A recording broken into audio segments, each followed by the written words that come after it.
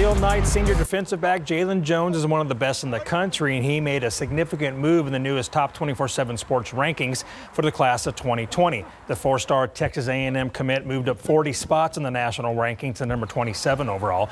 Plus, he's now the number one safety recruit in those rankings and the fifth best overall recruit in Texas. He's a very skilled young man and says he's ready to have a great senior season with the Knights. Busy summer, you know, always working no matter what. And um, really, all this work I put in the summer, just getting it ready for the season with my guys, trying to make this state run, you know, bring it back home to the 210. So it's going to be an exciting season. I can't wait. Steele will open the season Saturday, August 31st with O'Connor at Farris Stadium. And the Knights enter the season number 25 in the state, according to Dave Campbell's Texas Magazine football rankings.